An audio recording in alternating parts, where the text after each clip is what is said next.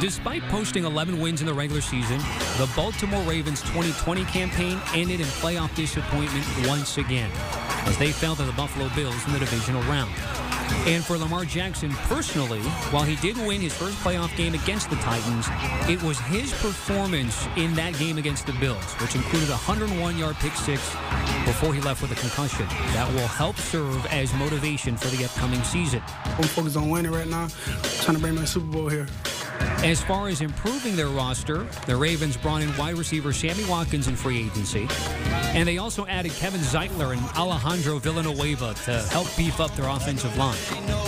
And in the draft, they spent their two first round picks on a couple of former Big Ten standouts in wideout Rashod Bateman and linebacker Odafe Oweh. This also could be a breakout year for second year running back J.K. Dobbins, who no longer will have to share carries with Mark Ingram, who was released in the offseason. But for the Ravens to get where they're trying to go and play in Los Angeles in February, they'll need Lamar Jackson to play like an MVP in the regular season and the playoffs.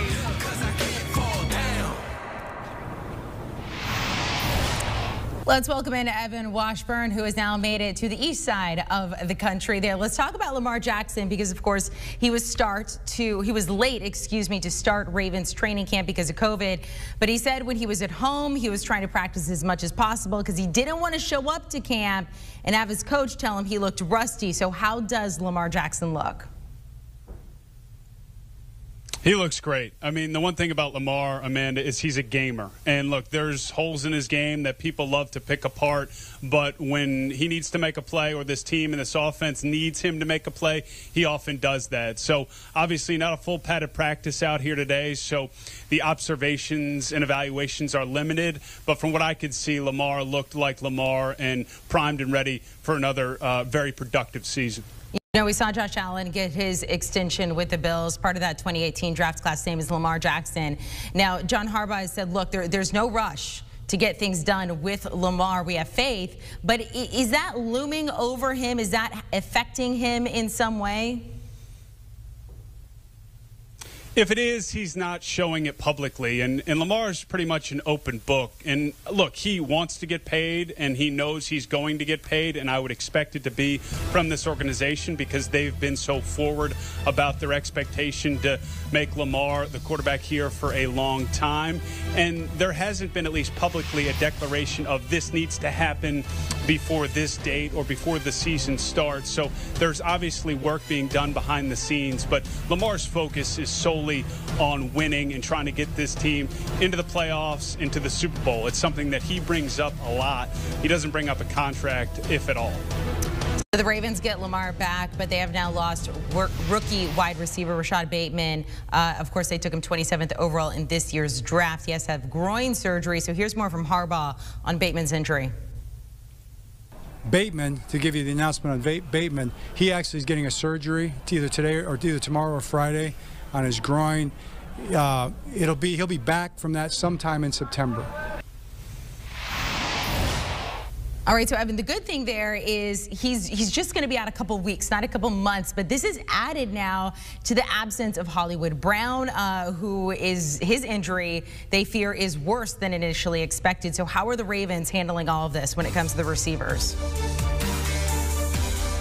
It's a lot to sort through. And look, the passing game was under and continues to be under the microscope uh, heading into this year. The Bateman injury is really disappointing because he was flashing early in camp. Talking to John Harbaugh after practice, he believes he's going to be a great, great wide receiver for this team. His ability to get off the line, even against the corners that they have here in Baltimore and Marcus Peters and Marlon Humphrey, he was having a really strong camp. And when you're a rookie and you lose that much time, it hurts your development. So the hope is, yes, he can be a effective at some point in September, but probably more towards the midpoint of the season.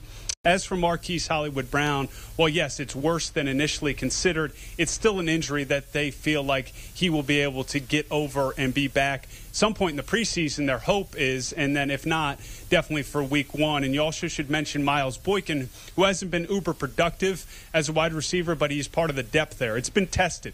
The positive sign is, up to this point, Sammy Watkins, who has a long injury history, is been or has been really effective early in camp, and most importantly, has stayed healthy. Evan, I need an update on this offensive line because they traded away Orlando Brown this offseason. Today, I believe they have four, correct me if I'm wrong, four projected starters on the O-line are out today. What's going on here? Well, the, every offensive lineman here has their own story. You've got Kevin Zeitler, who's got the foot. They brought him over in free agency. He was actually working out on one of the side fields, so a positive sign. Villanueva, he's missed the last two days. Doesn't sound serious, more of it being rest. And then you've got Ronnie Stanley, who's coming off serious ankle uh, surgery and injury a year ago. So I, I, wouldn't say that this is a situation where the line that they hope that's going to exist week one is not feasible to to uh, occur. But what you're dealing with is a lack of time on task, and that has to be the major concern there. Much like the the passing game and the wide receivers, the two areas of focus for this team heading into this year have been the areas that have been most compromised by injuries during training camp. Now, none of those other than Bateman are long term but it's affecting their ability to build chemistry on a day to day basis as we sit here in early August. Evan, the Ravens defense, they lost Yannick Ngakoue, Matt Judon in free agency. I sent you a message. You said, Evan, how are you feeling about the Ravens defense? You said, I am feeling very good about it. Expand on that. Well, they, they have continuity, and then in areas where maybe you could point to vulnerability, Matthew Judon being signed by the New England Patriots, were, he was their top pass rusher a year ago. They had depth in Houston and Oweh in the draft. And this the defensive line, they call them the Monstars from Space Jam. That's Space Jam 1, the better one, by the way. Uh, they, have been really the anchor for this defense. And then on the back end, you've got the personality and the swagger of Marcus Peters, Marlon Humphrey, Chuck Clark, and DeShon Elliott. And they get Tavon Young young back to play that nickel position. And the linebackers, it's two young guys inside, Malik Harrison and Patrick Queen, but they just make plays all over the field. This defense, Amanda, to me is going to be the the safe side of things, at least to start the season, because of the depth, the continuity, and up to this point, they've stayed healthy. So, much like in, in years past here in Baltimore, I think the defense is going to lead the way out of the gate. Yeah, across the board, that offense needs to get a little bit healthier there. Uh, didn't even see the second Space Jam, just not even going to bother with it. All right, Evan Washburn out there at Ravens training camp. Thanks so much. Do you want a sports network that delivers everything that matters about the game? The highlights, the picks, the instant analysis, no yelling, no fake debates, no politics. Hit the subscribe button and never miss a moment.